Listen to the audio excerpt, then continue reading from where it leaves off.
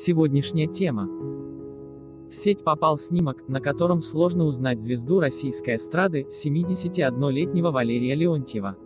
Он позирует в черной куртке и штанах цветка хаки в роскошном отеле. На сцену Леонтьев всегда выходит при полном параде с гримом и в ярком образе, чего не скажешь о повседневном стиле. Из-за этой разницы поклонники не узнали артиста, к тому же сильно похудевшего. Да, не только у меня был тяжелый год, тысячи чертей. Но это же не может быть Леонтьев. Эндауш, с пластикой переборщил. Не узнать неудачное фото. Какой-то старичок, мама дорогая. Смотрел пять минут и решал ребус, Хакамада или Леонтьев.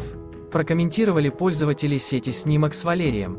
Поклонники выразили надежду, что певца просто подловили в неудачный момент. В конце концов, в будничной жизни все выглядят иначе. Тем более, что ранее все были ошеломлены, как молодо выглядит артист, Леонтьев демонстрировал бронзовый загар и изменившееся до неузнаваемости лицо. Как звезды старше 60 выглядят в обычной жизни, узнай из нашей статьи, а как певец копирует западных звезд, любуйся в галерее. Ставь лайк и подписывайся на наш канал.